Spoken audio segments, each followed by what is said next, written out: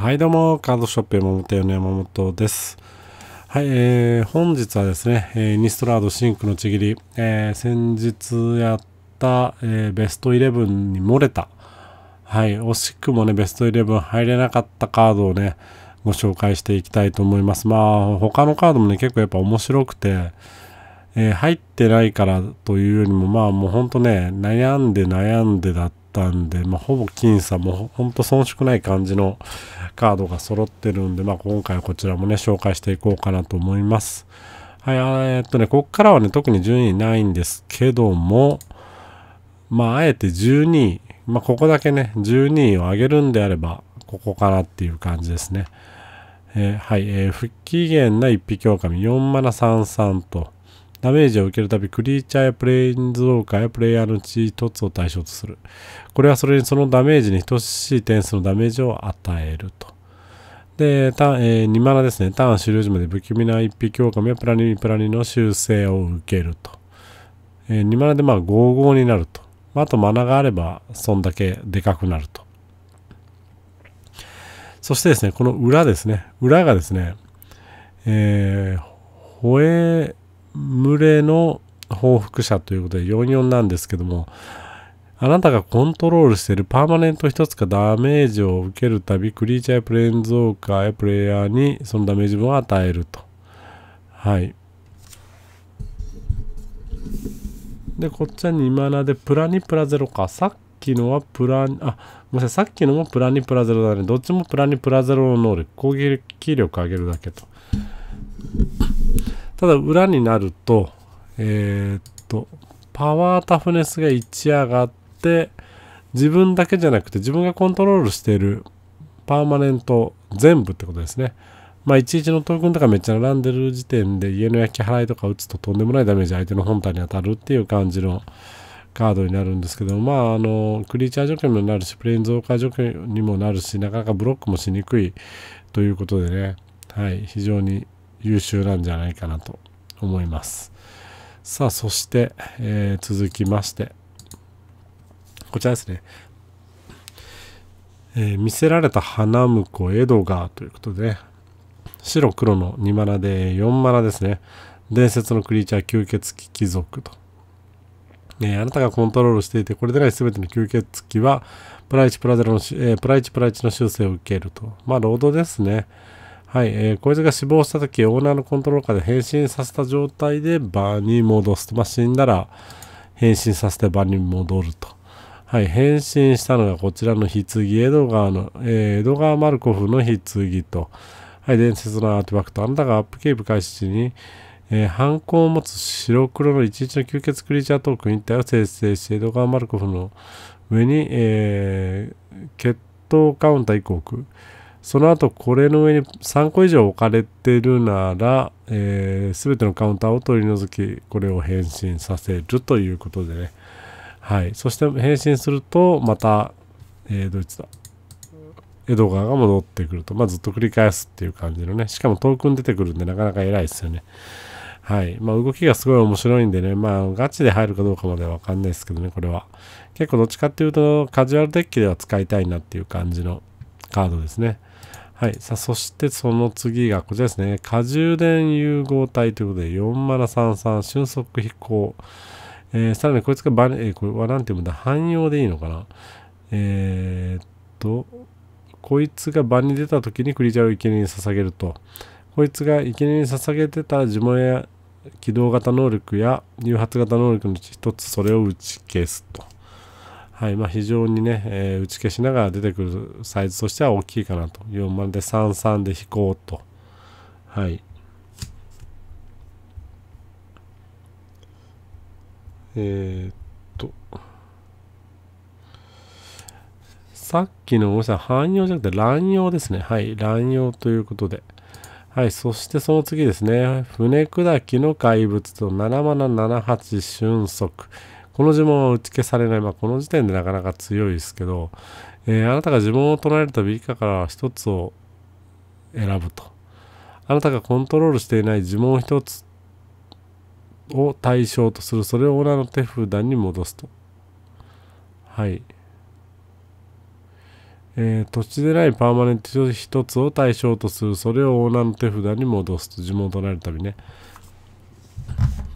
まあなかなか焼いたりするのは難しいねコントロールデッキはカウンターできんし、まあ、黒がえー、っと普通に破壊しに行くとかそういうのじゃないとなかなかしんどいカードなんでまああと瞬足ついてるんでねコントロールデッキで非常に使いやすいカードなんでねえー、強いんじゃないかなと思います。さあ、そしてですね、続きまして、はい、えー、進行縛りの審判官と。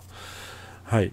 えっ、とね、やっぱコントロール好きなんで、序盤、まあ、いつの時代もやっぱ序盤どうしのぐかっていうね、ラスゴ打つまでどうやってしのぐかみたいな感じのとこあるんですけども、これもね、非常にそれの手助けになって非常に優秀なんですけど、3マナ44飛行警戒とはい、ただ防衛を持ってますと。あなたのアップキープ開始時に、えー、これの上に審判カウンターを置くと。で、2個以下である場合、これの上に審判カウンターを置くと。これが3個以上乗っててると、えー、防衛を持たないかのように攻撃できると。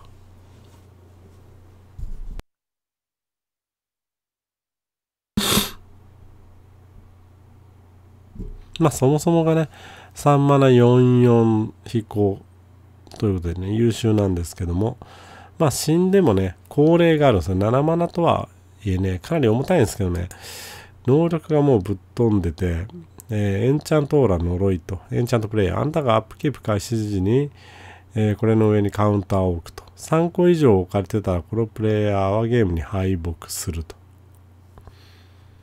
なかなかですね、コントロールのなんだろう、コントロールのフィニッシャー、コントロールに欲しかったカードがここに来たかという感じのカードですね。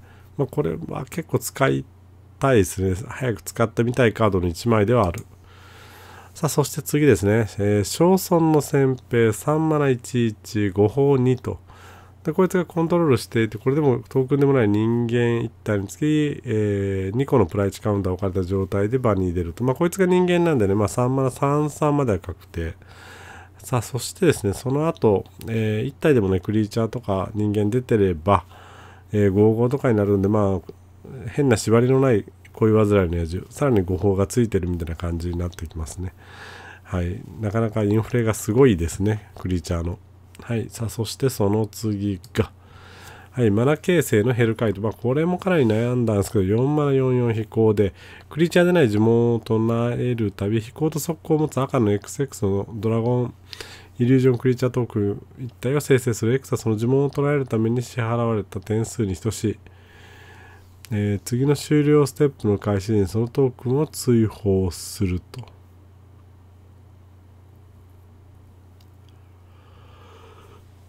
はい。さあ、そしてですね。まあ、こいつはね、なんだろう、もうイゼットドラゴンとかでも普通に入ってきそうな、打点高めす。まあ、でもイゼットドラゴンか、まあでもそうだろうね。あんまりこう、街のデッキというよりもちょっと攻めのデッキ。そこら辺でちょっと一回活躍は見てみたいカードでありますね。さあ、そして続きまして、笑わずのソリンと、まあこれはもうね、えー、紹介するまでもなく、えー、非常に優秀なプレーンズウォーカー、ソリン、4マラのプレーンズウォーカーですね。はい。まあプえー、マイナス2のね、23飛行の吸血クリーチャートークンですね。まあこれ反抗持ってて、まあ、こいつがどの程度強いか、まあこいつの反動がね、2マナ、3マナ、えー、4ターン目に唱えるっていうのも結構微妙だったりするんで、まあ、今後の課題かなと思います。はい、使われるのか使われないのか。まあ4枚入ることはなかなか難しいかなとは個人的には思うんですけどね。はい、さあそしてね、えー、引き続きましてこちらですね。えー、これが最後ですね。はい、祝福されし者の声。ね、ダブシン白ですね。22と。ライフを得るたび、えー、プライチカウンターを置く。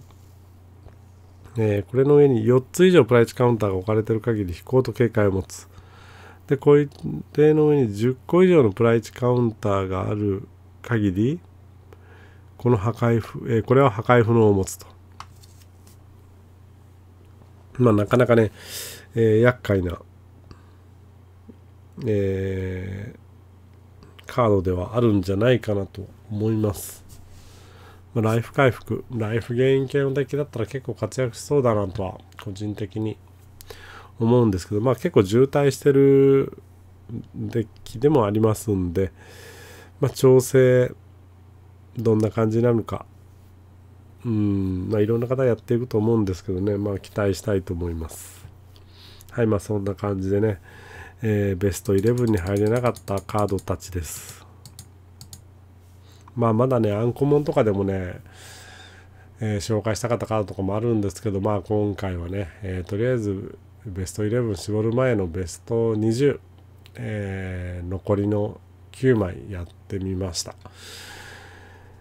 まあまだもう11日でしたっけ？アリーナ。まあそこまではこんな感じのカードレビュー混ぜながらになってくると思うんですけどもよかったらお付き合いください。さあそれじゃあ今回ここまでです。よかったらチャンネル登録よろしくお願いします。バイバイ。